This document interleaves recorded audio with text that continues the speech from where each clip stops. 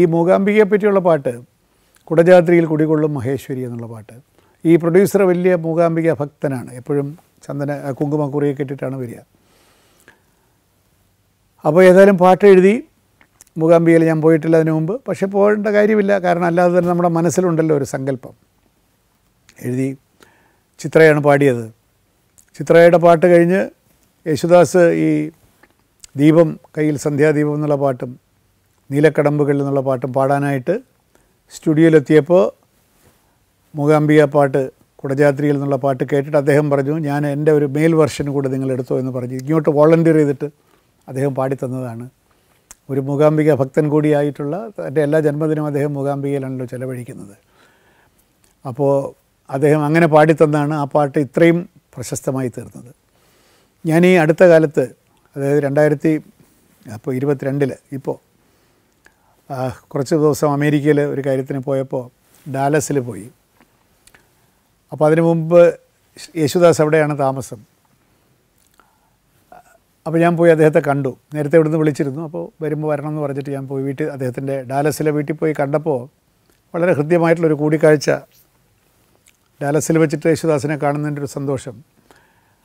അപ്പോൾ എന്നോട് പറഞ്ഞ ഒരു കാര്യം നാട്ടിൽ വന്നിട്ട് രണ്ട് വർഷമായി. മൂകാംബികയിൽ പോയിട്ട് രണ്ട് വർഷമായിട്ട്. ആയി. അപ്പോൾ കുടജാദ്രിയിൽ കുടികൊള്ളും മഹേശ്വരി എന്നുള്ള പാട്ടും ഞങ്ങൾ തമ്മിലുള്ള ഒരു ബന്ധവും ഒരു കോമൺ ഫാക്ടർ മൂകാംബിക ദേവിയാണ് എന്ന് അങ്ങനെ ദ്യോതിപ്പിക്കുന്ന സംഭാഷണം അദ്ദേഹം പറയുകയും ചെയ്തു. മൂകാംബികയിൽ പോയില്ല ഈ വർഷം പോകണം ഇരുപത്തിമൂന്ന് ജാനുവരിയിൽ അദ്ദേഹത്തിന് പോകണം എന്നും കൂടെ ഇങ്ങനെ പറഞ്ഞു. അപ്പോൾ കൂടെ ഉണ്ടായിരുന്ന ആൾ എന്റെ ഈ പാട്ട് ഓർമ്മിപ്പിക്കുകയും ചെയ്തു. കുടജാത്രിയിൽ എഴുതിയത് സാറാണല്ലോ എന്ന് ഓർമ്മിപ്പിക്കുകയും ചെയ്തു. അപ്പോൾ ഞാൻ പറയുന്ന ഒരു പാട്ടിന് എന്തുമാത്രമാണ് ആയുസ്സുള്ളതെന്നുള്ളതാണ്. നമ്മൾ സിനിമയിലെ ഒരു പ്രത്യേക സന്ദർഭത്തിന് വേണ്ടി എഴുതുന്നൊരു പാട്ടിന് ആ സിനിമ എഴുതി ഇറങ്ങിയിട്ടില്ല ഒരു ദിവസം പോലും ഷൂട്ട് ചെയ്തില്ല എങ്കിലും ആ പാട്ടുകൾക്ക് ഇത്രയും ദീർഘായുസ് ഉണ്ടായി എന്നുള്ളത് ഒരു വലിയ അനുഗ്രഹമായിട്ട് ഞാൻ കാണുന്നു. എല്ലാ പാട്ടുകൾക്കും അങ്ങനെ ദീർഘായുസ് ഉണ്ടായിക്കൊള്ളണമെന്നില്ല ചാപിള്ളയായി പോയ പാട്ടുകളും ഉണ്ട്. ഏത് പാട്ട് കാലത്ത് അതിജീവിക്കും എത്ര കാലം ജീവിക്കുമെന്ന് നമുക്കറിയാൻ വയ്യ. പാട്ട് എഴുതുമ്പോൾ നമുക്കൊന്നും അറിഞ്ഞുവിടാം നമ്മൾ പാട്ട് എഴുതുമ്പോൾ എന്താണ് നമ്മൾ വളരെ ഈ രാത്രിയുടെ ഏകാന്തയാമത്തിൽ എല്ലാവരും ഉറങ്ങുമ്പോൾ നമ്മൾ ഉണർന്നിരുന്ന് ഈ പാട്ട് തീർക്കുകയാണല്ലോ. അങ്ങനെ തന്നെയാണ് കുടജാത്രിയിൽ കുടികൊള്ളും മഹേശ്വരി എന്നുള്ള പാട്ട് എഴുതിയത് പക്ഷേ ഞാൻ ഈ പറഞ്ഞ പോലെ അതിനു മുമ്പ് കുട മൂകാംബിക ക്ഷേത്രത്തിൽ പോയിരുന്നിട്ടില്ല പോയിട്ടുണ്ടായിരുന്നില്ല. എൺപത്താറിൽ അതിന് ശേഷമാണ് ഞാൻ പോകുന്നത്. പക്ഷേ ഈ ഡയറക്ടറിനോട് ഞാൻ ചോദിച്ചു മൂകാംബികയിലെ ആചാരങ്ങൾ എന്തൊക്കെയാണ്? അപ്പോൾ സൗപർണിക താഴെ കൂടെ ഒഴുകുന്നു നമുക്കറിയാം. കുടജാദ്രി മലയിലായിരുന്നു ഈ ദേവിയുടെ വാസമെന്നും ശങ്കരാചാര്യരാണ് വിളിച്ചിറക്കി താഴെ ഇപ്പോഴത്തെ ക്ഷേത്ര സന്നിധി വരെ എത്തിച്ചതും തിരിഞ്ഞു നോക്കരുതെന്ന് പറഞ്ഞപ്പോൾ തിരിഞ്ഞു നോക്കിയെന്നൊക്കെയുള്ള ഐതിഹ്യങ്ങൾ ഒരുപാടുണ്ട്. പിന്നെ ഈ അമ്മയുടെ പ്രതിഷ്ഠയുടെ രൂപം വിഗ്രഹത്തിന്റെ ആകൃതിയൊക്കെ നമുക്കറിയാം. സങ്കല്പം അറിയാം അപ്പോൾ പോകാത്തതൊരു ന്യൂനതയായിട്ടൊന്നും എനിക്ക് തോന്നിയില്ല. പിന്നെ എങ്ങനെ എഴുതിയെന്ന് ചോദിച്ചാൽ നമ്മൾ മനസ്സുകൊണ്ട് ആ ക്ഷേത്ര സന്നിധിയിൽ പോയി നിൽക്കുകയാണ്. അങ്ങനെയാണല്ലോ. നമ്മൾ പോയിട്ടുണ്ടെങ്കിലും മനസ്സുകൊണ്ട് വീണ്ടും അവിടെ നിന്നിട്ടാണല്ലോ നമ്മൾ എഴുതുക. അങ്ങനെ ഞാൻ ഈ സങ്കല്പത്തിലുള്ള ക്ഷേത്ര സന്നിധിയിൽ നിന്ന് ഈ മൂകാംബിക സങ്കല്പത്തെ മനസ്സിൽ ഉപാസിച്ചിട്ട് ഞാൻ സ്വയം പ്രാർത്ഥിക്കുകയാണ് സ്വയം പ്രാർത്ഥിക്കുകയാണ്. വാസ്തവത്തിൽ വളരെ നൈസർഗികമായിട്ട് വന്ന വരികളാണ് കേട്ടോ. എന്റെ പ്രാർത്ഥനയാണ്. അത് മറ്റുള്ളവരുടെയും പ്രാർത്ഥനയായി തീരുമ്പോഴാണ് ഒരു പാട്ട് വിജയിക്കുന്നത്. അത് സംഗീത സംവിധായകൻ അതിന് പൊലിപ്പം കൊടുക്കുമ്പോഴാണ് ആ പാട്ട് മനുഷ്യന്റെ ഹൃദയത്തിലേക്ക് കയറുന്നത്. അപ്പോൾ ഞാൻ അവിടെ നിന്ന് പ്രാർത്ഥിക്കുകയാണെന്ന് വിചാരിച്ചാൽ മതി. കുടജാദ്രിയിൽ കുടികൊള്ളും മഹേശ്വരി. ഗുണദായിനി സർവശുഭകാരിണി. കാതര ഹൃദയ സരോവര നെറുകയിൽ ഉദയാങ്കുലിയാകൂ. ആ ഒരു ഇമേജ് മനുഷ്യന്റെ കാതരമായ ഹൃദയത്തിന്റെ മുകളിൽ നിന്റെ ദൃഷ്ടി ഉദയാങ്കുലിയാകുമെങ്കിൽ എന്റെ ഈ വാടി നിൽക്കുന്ന ഈ താമരകളൊക്കെ വിരിയും. കാതര ഹൃദയ സരോവര നെറുകയിൽ ഉദയാങ്കുലിയാകൂ എന്ന് പറയുമ്പോൾ അങ്ങനെ അനേകം താമരകൾ മനസ്സിൽ വിരിയുന്നത് ഞാനിങ്ങനെ കാണുകയാണ്. നമ്മുടെ ഹതാശകൾ നമ്മുടെ ആശങ്കകൾ നമ്മുടെ സങ്കടങ്ങൾ ഒക്കെ ഇങ്ങനെ കൂമ്പി നിൽക്കുന്ന താമര പോലെയാണ് നിൽക്കുന്നതെങ്കിൽ ഈ അമ്മയുടെ ഒരൊറ്റ കടാക്ഷം കൊണ്ട് അതെല്ലാം ഇങ്ങനെ വിരിയുന്നത് നമ്മൾ നോക്കുന്നു അറിയുന്നു. അതാണ് ആ ഇമേജറിയുടെ ഗുണം എന്ന് ഞാൻ വിചാ അതിന്റെ അതിന്റെ ഒരു പ്രാധാന്യം പിന്നെ ഉദയാങ്കുലിയാകൂ ജീവനിൽ മന്ദസ്മിതം തൂകും. അങ്ങനെ അങ്ങ് പോകണം. പിന്നെ പിന്നെ പ്രാർത്ഥിക്കുകയാണ് നാദാത്മികയായിട്ടുള്ള ദേവിയെപ്പറ്റി സകല കലകളുടെയും ഉറവിടമായ ദേവിയെപ്പറ്റി.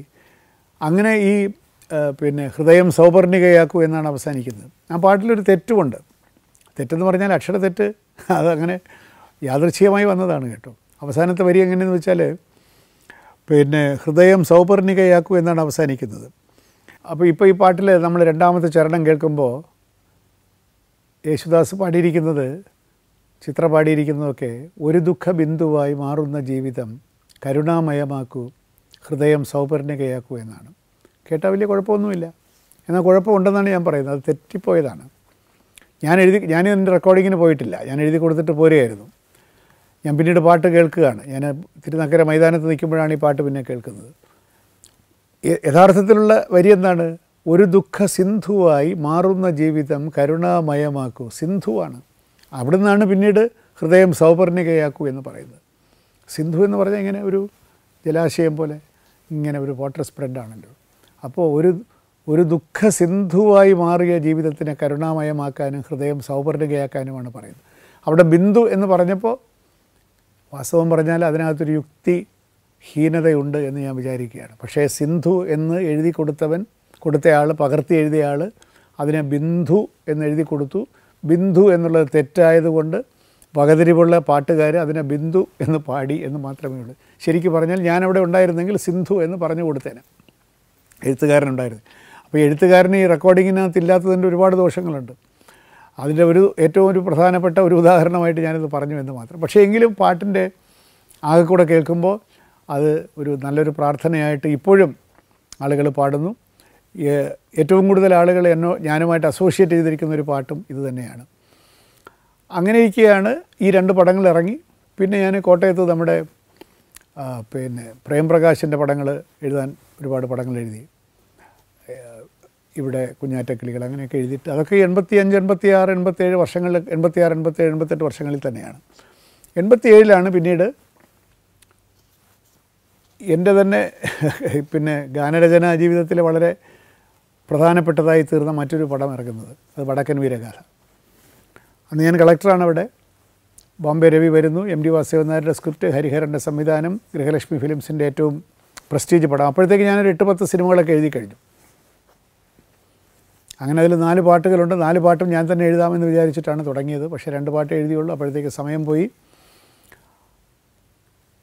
വടക്കൻ വീരഗാഥയുമായിട്ട് ബന്ധപ്പെട്ട് പ്രവർത്തിക്കാൻ സാധിച്ചതൊരു വലിയ ഭാഗ്യമായിട്ട് കരുതുകയാണ്. കാരണം ഒരു സ്ക്രിപ്റ്റ് റൈറ്ററുടെ ആ കഴിവ് സ്ക്രിപ്റ്റ് റൈറ്ററുടെ ഒരു ജീനിയസ് ആ സ്ക്രിപ്റ്റ് മാത്രം വായിച്ചാൽ നമുക്ക് മനസ്സിലാവും.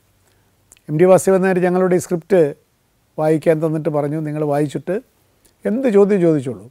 ബോധ്യപ്പെടാത്ത എന്തെങ്കിലും ഉണ്ടെങ്കിൽ ചോദിക്കണം. അപ്പോൾ സ്ക്രിപ്റ്റ് വായിച്ചപ്പോൾ നമ്മളൊക്കെ ഉന്മത്തരായിപ്പോയി. പക്ഷേ ചോദ്യങ്ങൾ ഒരുപാട് ചോദിച്ചു. അതെന്തിനാണ് അങ്ങനെ? ഇത് അങ്ങനെ അല്ലല്ലോ ഇങ്ങനെ അല്ലല്ലോ. എല്ലാത്തിനും അദ്ദേഹത്തിന് ഉത്തരവുണ്ട്. ഇതെല്ലാം വടക്കൻ പാട്ടുകളിലുള്ളതല്ലാതെ വേറൊന്നും ചെയ്തിട്ടില്ല. അതിന്റെ വ്യാഖ്യാനം മാത്രമേ ഉള്ളൂ. കുഞ്ഞിരാമനെ പറ്റി കുഞ്ഞിരാമ പിന്നെ ഉണ്ണിയാർച്ചയുടെ അറയിൽ ചന്തു കയറുന്നതിനെ പറ്റി ഒക്കെ ഒരുപാട് നമ്മൾ ചോദിച്ചു. ചന്തുവിനെ നല്ലവനാക്കാൻ ഉള്ള ശ്രമത്തെ അത് എങ്ങനെ ജനങ്ങൾ അംഗീകരിക്കുമോ? ചതിയൻ ചന്തു എന്ന് പറഞ്ഞ് പറഞ്ഞ് ശീലിച്ച ചതിയൻ ചന്തുവിനെ നായകസ്ഥാനത്ത് പ്രതിഷ്ഠിച്ചു കൊണ്ടൊരു സിനിമ എടുക്കുക എന്നുള്ളത് ധീരമായിട്ടുള്ളൊരു അതാ ധീരമായിട്ടുള്ളൊരു ഒരു പ്രവൃത്തി തന്നെയാണ്. അതൊരു തിരക്കഥാകൃത്തിന്റെ ദിഗ്വിജയമെന്ന് വേണം പറയാൻ. അതിൽ ഓരോ നമ്മളെപ്പോലെ തിരക്കഥ എഴുതാൻ ആഗ്രഹിക്കുന്ന ആളുകളെ സംബന്ധിച്ചിടത്തോളം അതൊരു ടെക്സ്റ്റ് ബുക്കാണ് ഈ വടക്കൻ വീരകഥയുടെ സ്ക്രിപ്റ്റ് അതിലെ ഡയലോഗുകൾ എന്താണ് പരാ തോൽവികൾ ഏറ്റുവാങ്ങാൻ ചന്തുവിന്റെ ജീവിതം പിന്നെയും ബാക്കി എന്നൊക്കെയുള്ള ചില കാച്ചിക്കുറുക്കിയ ഡയലോഗുകൾ അതുപോകട്ടെ അങ്ങനെ പാട്ട് എഴുതാൻ പറഞ്ഞു. ബോംബെ രവി വന്നിട്ടുണ്ട് ബോംബെയിൽ നിന്ന്. അങ്ങനെ ചന്ദനലേപ സുഗന്ധം ചൂടിയ താരോ കാറ്റോ കാമിനിയോ. മൈവർണപ്പെട്ടി തുറന്നു കൊടുത്തത് യൗവനമോറുതു ദേവതയോ. നാല് വരി എഴുതി. ബോംബെ രവിയുടെ കൈ കൊണ്ട് കൊടുത്തു. ഹരിഹരനും എം പി വാസുദേവനാർ വായിച്ചു. പല്ലവി ഇഷ്ടപ്പെട്ടു. സന്ദർഭം എല്ലാവർക്കും അറിയാമെന്നുള്ളതുപോലെ ഉണ്ണിയാർച്ച കുളിച്ച് പോകുമ്പോൾ ചന്തുവിന്റെ പോയിന്റ് ഓഫ് വ്യൂവിൽ മനസ്സിൽ പ്രണയം അങ്കുരിച്ചിരിക്കുന്ന ചന്തുവിന്റെ പോയിന്റ് ഓഫ് വ്യൂവിൽ ഉള്ളൊരു പാട്ടാണ് ആദ്യത്തെ പല്ലവി എഴുതി പല്ലവി എഴുതി രവി ബോംബെ രവി അതിന് പത്ത് പന്ത്രണ്ട് ട്യൂൺ ഇട്ടു വൈകുന്നേരം കണ്ടപ്പോൾ ആ ട്യൂണിൽ ഏറ്റവും നല്ല ട്യൂൺ എന്ന് പറഞ്ഞ് നമ്മൾ ഇപ്പോഴത്തെ ട്യൂൺ സെലക്ട് ചെയ്തു അപ്പോൾ അത് പിന്നെ ചരണം എഴുതണം Just a moment. what happened. The radio is still dead. ഇതാ മനുഷ്യന്റെ ബഹിരാകാശ പര്യവേഷണത്തിന്റെ സമ്പൂർണ ചരിത്രം പെൻഡ്രൈവിൽ mission Space. Is cleared for launch. ബഹിരാകാശ രഹസ്യങ്ങൾ തേടിയുള്ള മനുഷ്യന്റെ അന്വേഷണ യാത്രയുടെ നാൾവഴികൾ ആവേശകരമായ ഒരു ചലച്ചിത്രം പോലെ ആസ്വദിക്കാം. റോക്കറ്റ് സാങ്കേതിക വിദ്യയുടെ തുടക്കം മുതൽ ചൊവ്വ യാത്രയുടെ ഒരുക്കം വരെ. സഫാരി ചാനലിൽ ഇരുന്നൂറ്റിയഞ്ച് എപ്പിസോഡുകളായി അവതരിപ്പിച്ച പരിപാടി രണ്ട് പെൻ ഡ്രൈവുകളിൽ.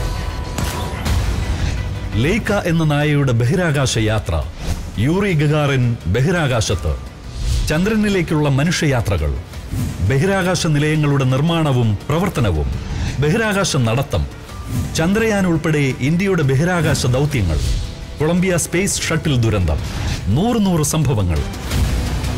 Mission space. കുട്ടികൾക്കും മുതിർന്നവർക്കും ഒരുപോലെ ആസ്വദിക്കാവുന്നത്.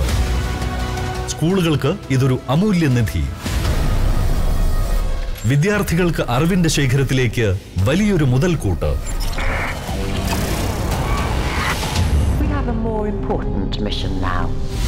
Mission space രണ്ട് പെൻഡ്രൈവ് ഓളിയങ്ങൾ ഉടൻ സ്വന്തമാക്കാൻ triple nine five triple four triple two എന്ന നമ്പറിലേക്ക് എം എസ് എന്ന് എസ് എം എസ് ചെയ്യൂ. എം എസ് എന്നീ രണ്ടക്ഷരങ്ങൾ മാത്രം. ചരണമൊക്കെ എഴുതി പിറ്റേന്ന് ഞാൻ കൊണ്ട് എം ഡിയെ കാണിച്ചു. കാണിച്ചപ്പോൾ പറഞ്ഞു അത് ഒന്നും കൂടെ മാറ്റി എഴുതണം എന്ന് പറഞ്ഞു. അങ്ങനെ ഒരുപാട് ദിവസമായി മാറ്റി എഴുതിയിട്ട് അങ്ങോട്ട് നന്നാവുന്നില്ല. നന്നാവുന്നില്ലെന്നല്ല ഇറ്റ്സ് ഓക്കെ പക്ഷേ പോരാ കുറച്ചുകൂടെ നന്നാവാം എന്നാണ്. അങ്ങനെ മദ്രാസിലേക്ക് പോയി റെക്കോർഡിങ്ങിന്റെ സമയമായി. അപ്പോൾ റെക്കോർഡിങ്ങിന്റെ തലേ ദിവസമാണ് ഈ പാട്ട് തീരുന്നത്. ആ വരികൾക്ക് ഞാൻ എഴുതിയ വരികൾ മോശമാണെന്ന് എനിക്ക് വിചാരമില്ല.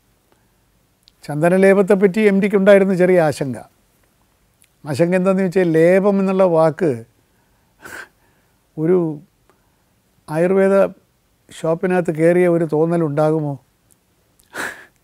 ഒരു എഴുത്തുകാരന്റെ സൂക്ഷ്മതയാണ് കേട്ടോ. അപ്പോൾ ഞാൻ പറഞ്ഞ അതുണ്ടാവില്ല എം ടി കാരണം നമ്മൾ ഇപ്പുറത്ത് ഇപ്പുറത്ത് ചന്ദനം കിടക്കുന്നുണ്ടല്ലോ. അപ്പോൾ ചന്ദന ലേപം എന്ന് പറയുമ്പോൾ സാധാരണ ലേപം പോലെ അല്ലല്ലോ. അതിനകത്ത് ആയുർവേദത്തിന്റെ ഒന്നും വരില്ല. ഒരു മുക്കൂട്ടിന്റെ മണമൊന്നും വരികയില്ല. ചന്ദനമേ വരുള്ളൂ. അന്നത്തെ കാലത്ത് സോപ്പില്ലല്ലോ. ചന്ദനം അരച്ചായിരിക്കും ഉണ്ണിയാർച്ച കുളിച്ചതെന്ന് ഞാനങ്ങ് സങ്കല്പിക്കുകയാണ് ഏതായാലും ചരണത്തിലേക്ക് വന്നപ്പോൾ എന്തായിരുന്നു തടസ്സമെന്ന് ചോദിച്ചാൽ എഴുതിയ വരികൾ മോശമാണെന്ന് എനിക്ക് വിചാരമില്ല. സാധാരണ ഒരു പാട്ടാണെങ്കിൽ നമുക്ക് അഞ്ചാറ് പാട്ട് എഴുതി കൊടുക്കാനുള്ള സമയമായി. എം ടിക്ക് വേണ്ടിയിരുന്നത് ചിലതൊക്കെ ഹരിഹരനൊക്കെ പറഞ്ഞു. പക്ഷേ എം ടിക്ക് തൃപ്തിയായില്ല. ചിലത് എം ടിക്ക് തൃപ്തിയായി ഹരിഹരൻ ഇഷ്ടപ്പെട്ടില്ല. അങ്ങനെ അവസാനം കുറച്ച് ഡെപ്ത് വേണം എന്നാണ്. ഒരു സജസ്റ്റീവ്നെസ് വേണം. പച്ചയ്ക്കങ്ങ് പറയരുത്. വർണന എന്ന് പറഞ്ഞാൽ അങ്ങനെ എന്താണ് കേശാതിപാത വർണനയും ഒന്നുമല്ല വേണ്ടത്. ഒരു ഒരു സജസ്റ്റീവ്നെസ് വേണം. ഒരു ഡെപ്ത് വേണം പാട്ടിന്. സൂചനകളിലൂടെ പാട്ട് വളരണം. ഇതൊക്കെ എം ടി പറഞ്ഞുള്ളൂ കേട്ടോ. അപ്പോൾ എനിക്ക് മനസ്സിലായി അങ്ങനെ തെളിച്ച് പറയണ്ട. അങ്ങനെയാണ് ഈ ചന്ദനലേപ സുഗന്ധത്തിലെ നായകൻ എല്ലാം ചോദ്യങ്ങളാണ് ചോദിക്കുന്നത് കേട്ടോ. മാറണി കച്ച കവർന്നോ?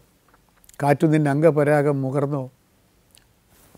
എന്താണ് പൊന്നരഞ്ഞാണം മുലഞ്ഞോ മുത്തടർന്ന് ഈ നഖകാന്തി കവർന്നോ. അതൊക്കെ സജസ്റ്റീവാണ്. ചോദ്യങ്ങളിലൂടെ ഇത് വികസിക്കുന്നു എന്നുള്ളൊരു ഫോർമാറ്റ് വന്നപ്പോൾ എല്ലാവർക്കും തൃപ്തിയായി. യേശുദാസ് വന്ന് പാടി. അന്ന് പാട്ടിന്റെ റെക്കോർഡിങ്ങിന് ഞാൻ കൂടെ ഉണ്ട്.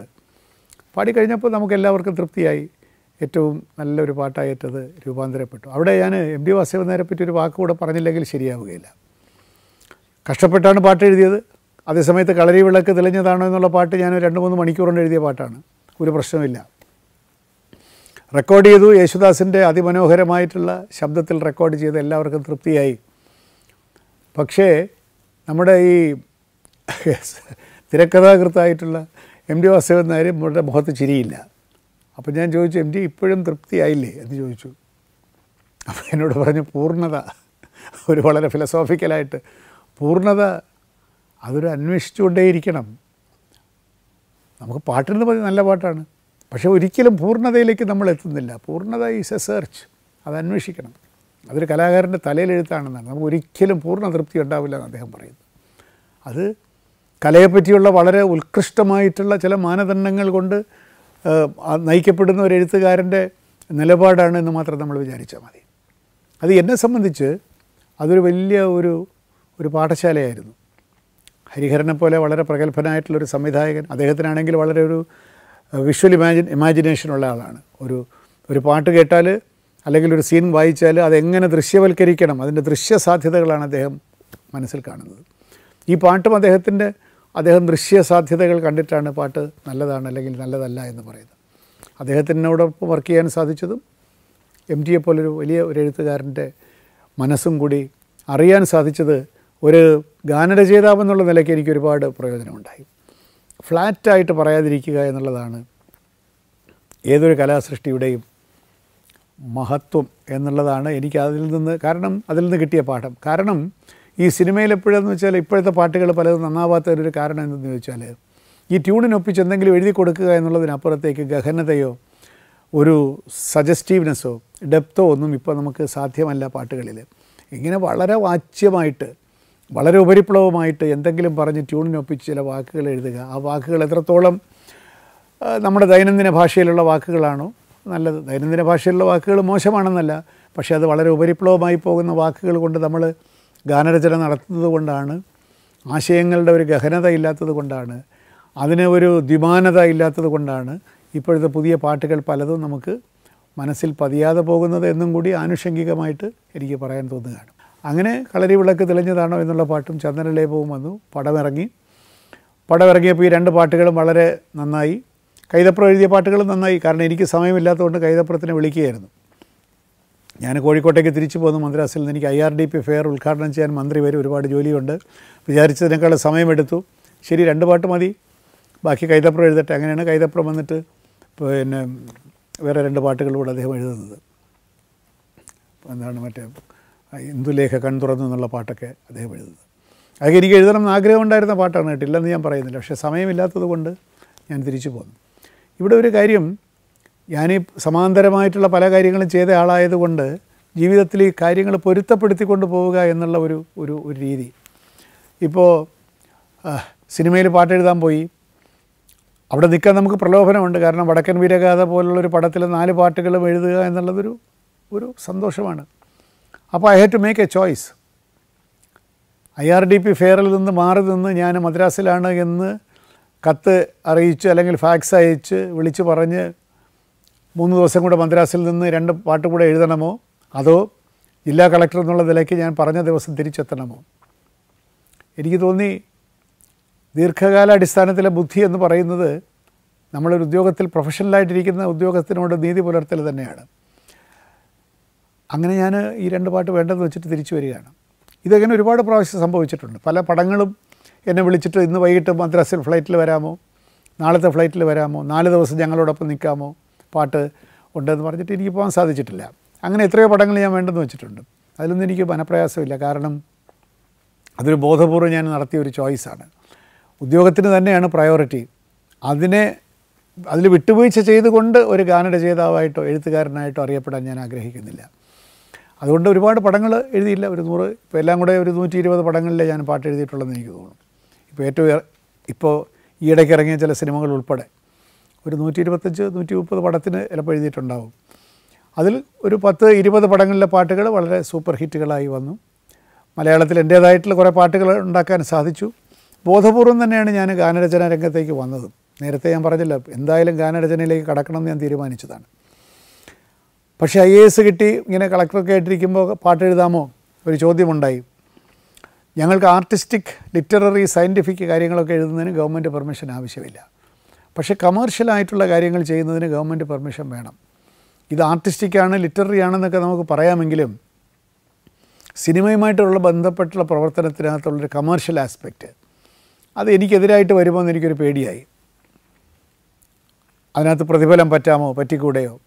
നമ്മൾ സർക്കാരിന്റെ ശമ്പളം വാങ്ങിച്ചുകൊണ്ട് പ്രധാനപ്പെട്ടൊരു ജോലി ചെയ്യുമ്പോൾ സിനിമയിൽ പ്രവർത്തിച്ച് അതിന്റെ പ്രതിഫലം വാങ്ങി അതൊക്കെ പ്രശ്നം ഉണ്ടാവില്ല എന്ന് എനിക്ക് തോന്നി. അപ്പോഴാണ് ഞാൻ എന്തായാലും ഗവൺമെന്റിൽ പോയിട്ട് അനുവാദം വാങ്ങിച്ചു. കാരണം അതിനു മുമ്പ് ഇവിടെ ആരും പാട്ട് എഴുതാൻ വേണ്ടി ഒരു ഐ എ എസ് ഉദ്യോഗസ്ഥന് അനുവാദം ചോദിച്ചിട്ടില്ല. കഥ എഴുതാനൊക്കെ ഉണ്ടാവും പക്ഷേ പാട്ട് എഴുതാൻ ആരും ചോദിച്ചിട്ടില്ല. അങ്ങനെ ഞാൻ ഗവൺമെന്റ് അടുത്ത് പെർമിഷൻ ചോദിച്ചപ്പോൾ കേരള ഗവൺമെന്റിന് അതിന് മുൻ ഇതിന്റെ ഇതിന് പ്രസിഡന്റ് ഇല്ല. ഇതിന് കീഴ് നടപ്പില്ല. ഇതിന് മുമ്പ് അങ്ങനെ ആരും ചോദിച്ചിട്ടില്ലല്ലോ. അതുകൊണ്ട് ഇന്ത്യ ഗവൺമെന്റിലേക്ക് എഴുതി. അപ്പോൾ ഇന്ത്യ ഗവൺമെന്റിൽ ഞാൻ പോയി. ഞാൻ അവിടുത്തെ വകുപ്പിൽ പോയി. അന്ന് നമ്മുടെ ഇവിടുത്തെ ബാബു ജേക്കബ് സാറാണ് അന്ന് അവിടെ അന്ന് അദ്ദേഹം ജോയിന്റ് സെക്രട്ടറി മറ്റാണ് അവിടെ. അപ്പോൾ അങ്ങനെ എനിക്ക് പെർമിഷൻ തന്നു. പക്ഷേ പെർമിഷനിൽ ഉണ്ടായിരുന്ന ഒരു ഒടിവ് ഒരു ഒരു ഒരു ക്ലോസ്. നിങ്ങൾ പാട്ട് എഴുതുന്നതിനൊന്നും സർക്കാരിന് വിരോധമില്ല. പക്ഷേ ഇവിടെ നിന്നെങ്കിലും പ്രതിഫലം പറ്റുകയാണ് എങ്കിൽ സിനിമയിൽ പ്രതിഫലം തരാൻ ആരും ഇവിടെ ക്യൂ നിൽക്കുന്നില്ല. വളരെ കഷ്ടപ്പെട്ടാണ് വല്ലപ്പോഴും പ്രതിഫലം തരുന്നത്. അങ്ങനെ പ്രതിഫലം പറ്റുകയാണ് എങ്കിൽ prior permission of the government may be obtained പോരെ? പ്രയർ പെർമിഷൻ വാങ്ങണം. ഈ പ്രൊഡ്യൂസർക്ക് എപ്പോഴാണ് മനസ്സ് തെളിയുന്നത് നമുക്ക് അറിഞ്ഞുകൂടാ. എന്തായാലും പ്രയർ പെർമിഷൻ വാങ്ങി ഞാൻ ഒന്നോ രണ്ടോ പടത്തിനൊക്കെ വാങ്ങി പ്രതിഫലം. പിന്നെ ഇതൊരു വലിയ തൊല്ലയായി മാറിയപ്പോൾ ഞാൻ പിന്നെ ഇ കെ നയനാർ ഒരു ദിവസം ഞാൻ പാട്ടെഴുതിയ ഒരു സിനിമ കാണാൻ പോയി എന്ന് എന്നോട് അദ്ദേഹത്തിന്റെ പി എസ് വാര്യർ എന്നോട് പറഞ്ഞു സാറേ സാറിന്റെ പാട്ടൊക്കെ കേട്ട് വലിയ സന്തോഷമായിട്ടിരിക്കുകയാണെന്ന് പറഞ്ഞു മുഖ്യമന്ത്രിയെ കാണാൻ പോയത്. അപ്പോൾ ഞാൻ വിചാരിച്ചു ഇത് തന്നെ അവസരം. ഞാൻ അദ്ദേഹത്തിനോട് പറഞ്ഞു സാർ അപ്പോൾ എന്നോട് തന്റെ പാട്ടെല്ലാം കൊള്ളാം അവിടെ എന്നൊക്കെ എന്നോട് പറഞ്ഞു. അപ്പോൾ ഞാൻ പറയും സാർ ഇത് കൊള്ളാമെന്നെങ്കിലും എന്തെങ്കിലുമൊക്കെ സാമ്പത്തിക പ്രയോജനം ഉള്ളതാണ് സാർ പക്ഷേ വാങ്ങാൻ നിവർത്തിയില്ല സർക്കാരിന്റെ പെർമിഷനൊക്കെ വാങ്ങി വരും എന്റെ പ്രൊഡ്യൂസർ നാട് അയാൾ ദുബായിലെത്തിയിട്ടുണ്ടാവും. അതുകൊണ്ട് സാർ എനിക്കൊരു ബ്ലാങ്കറ്റ് പെർമിഷൻ തരണം. റീസണബിൾ റെമ്യൂണറേഷൻ വാങ്ങുന്നതിന് ഓരോ പ്രാവശ്യവും സർക്കാരിൽ വരണ്ട എന്നൊരു പെർമിഷൻ സാറ് വിചാരിച്ചാൽ നിസ്സാരമായിട്ട് തരാം. ആ എന്നാൽ താൻ എഴുതി കൊണ്ടുപോകാന്ന് പറഞ്ഞു. ഞാൻ പോയിട്ട് ഒരു റിക്വസ്റ്റ് എഴുതി കൊടുത്തു. അതായത് പാട്ട് എഴുതുന്നതിനും തിരക്കഥ എഴുതുന്നതിനും സിനിമയിലെ മറ്റു കാര്യങ്ങൾ ചെയ്യുന്നതിനും ഒക്കെ ഉചിതമായ പ്രതിഫലം റീസണബിൾ പ്രതിഫലം വാങ്ങുന്നതിന് സർക്കാരിന്റെ മുൻകൂട്ടിയുള്ള അനുവാദം ഇയാൾക്ക് ആവശ്യമില്ല. അതിൽ നിന്ന് ഒഴിവാക്കി തന്നിരിക്കുന്നു എന്ന് പറഞ്ഞ് ഇ കെ നയനാർ എനിക്ക് ഒപ്പിട്ട് തന്നു. ഞാൻ അപ്പം തന്നെ ഒരു ജീവ അടിച്ച് പോക്കറ്റ് വെച്ചു. കാരണം പിന്നെ ആരും എന്റെ പിന്നാലെ വിജിലൻസുകാരൻ വരേണ്ടല്ലോ നിങ്ങൾ സർക്കാർ പെർമിഷൻ ഇല്ലാതെ പൈസ വാങ്ങിച്ചു എന്ന് പറയണ്ട. അത് ഇ കെ നയനാറാണ്. അദ്ദേഹം ഒരു കലാകാരനും കലാസ്വാദകനായതുകൊണ്ടാണ് അദ്ദേഹത്തിന്റെ ഒരു ദുർബല നിമിഷം ഉപയോഗപ്പെടുത്തിക്കൊണ്ട് ഞാൻ ഉത്തരവ് വാങ്ങിച്ചത്. ആളുകൾ എനിക്ക് ഒരുപാട് കാശ് കൊണ്ട് തന്നിട്ടൊന്നുമില്ല സിനിമയിൽ. വല്ലപ്പോഴൊക്കെ വല്ല പ്രതിഫലമൊക്കെ തരുമില്ലെന്നല്ല. പക്ഷേ അതൊരു നിയമവിരുദ്ധമായിട്ടുള്ള നടപടിയാണ് എന്നുള്ള തോന്നൽ വേണ്ടാതിരിക്കാനായിട്ടാണ് ഞാൻ ഈ ഈ സർക്കാർ ഉത്തരവ് വാങ്ങി വെച്ചിരിക്കുന്നത്. ഇപ്പോൾ അതിന്റെ ആവശ്യമില്ല ഇപ്പം ഞാൻ വിമുക്തനാണല്ലോ. പക്ഷേ അത് ഇ കെ നായനാർക്ക് കലാകാരന്മാരോടുള്ള അദ്ദേഹത്തിന്റെ ഒരു പ്രതിപത്തി. അത് വളരെ വലിയ കാര്യമാണ് കേട്ടോ. അദ്ദേഹം ഒരുപാട് പ്രാവശ്യം അത് കാണിച്ചിട്ടുണ്ട്. കണ്ണൂർ പോയപ്പോൾ ഒരു ദിവസം ഉച്ചയ്ക്ക് ഉണക്ക് കഴിഞ്ഞ് എനിക്ക് വലിയ പണിയൊന്നുമില്ല ഞാൻ ഇരിക്കുമ്പോൾ പോലീസുകാരെ വിളിച്ചു. സാർ ഇവിടെ സംഘർഷമാണ്. രണ്ട് കൂട്ടർ തമ്മിൽ എന്തോ ഭയങ്കര പ്രശ്നമാണ്. ഒബ്സർവർ ഇവിടെ വരണം പറയും അപ്പോൾ ഞാൻ വണ്ടി എടുത്ത് പോയി. പോലീസുകാരൊക്കെ ഉണ്ട്. പോയപ്പോൾ അവിടെ എന്തോ ഒരു വഴക്ക്. അടിയായിട്ടില്ല അടിയാവും എന്നുള്ള മട്ടിൽ നിൽക്കുകയാണ്. അപ്പോൾ എന്തോ ചട്ടം ലംഘിച്ചെന്തോ ചെയ്തു ഒബ്സർവർ എന്തോ ചെയ്യണം അതാണ് വിഷയം. അപ്പോൾ ഇതിന്റെ നടുനായകനായി നിൽക്കുന്ന ഒരാൾ വളരെ രൂക്ഷമായിട്ടുള്ള മുഖഭാവത്തോടു കൂടി നിൽക്കുകയാണ്. അയാളാണ് ലീഡർ എന്നുള്ളത് കണ്ടപ്പോൾ മനസ്സിലായി. ഞാൻ അവരുടെ ഇടയിലേക്ക് ചെന്നങ്ങ് ഇറങ്ങി.